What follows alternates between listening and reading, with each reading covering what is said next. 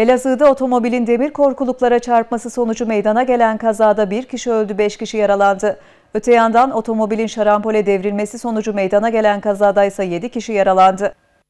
Kaza Karakoçan ilçesinde meydana geldi. Edinilen bilgiye göre AÇ'nin kullandığı otomobil Başyurt Köyü mevkiinde direksiyon hakimiyetini kaybederek demir korkuluklara çarptı. Kazada otomobildeki 6 kişi yaralandı. Kazayı gören diğer sürücülerin haber vermesi üzerine jandarma, itfaiye ve sağlık ekipleri sevk edildi. Yaralılar olay yerinde yapılan ilk müdahalelerin ardından ambulansla kentteki çeşitli hastanelere kaldırıldı. Yaralılardan sürücü AÇ kaldırıldığı Karakoçan Devlet Hastanesi'nde yapılan tüm müdahaleye rağmen kurtarılamayarak hayatını kaybetti kaybetti. Kazayla ilgili inceleme başlatıldı.